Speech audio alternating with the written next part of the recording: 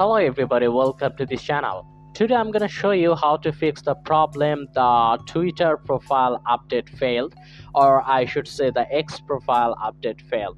For that you have to follow my instructions very carefully. It's very easy, you have to do some of the simple steps.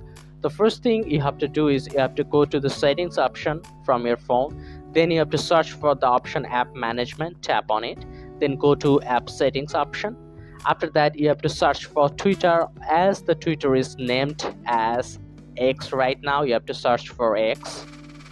Okay here it is. So this is basically twitter. So if you just enter into the twitter or x application from that app management settings you can see a button for stop tap on it. Just click ok. Then at the third option you can see storage and cache tap on it. Then you have to clear the cache first then you have to clear the storage. That's all. Then re-enter your twitter or x account. Then you try to update the profile. Hopefully there will be no problem. Still if you face problem you can comment down below. I will try to find another way. So if this tutorial helped you like this video and don't forget to subscribe to my channel. See you in the next one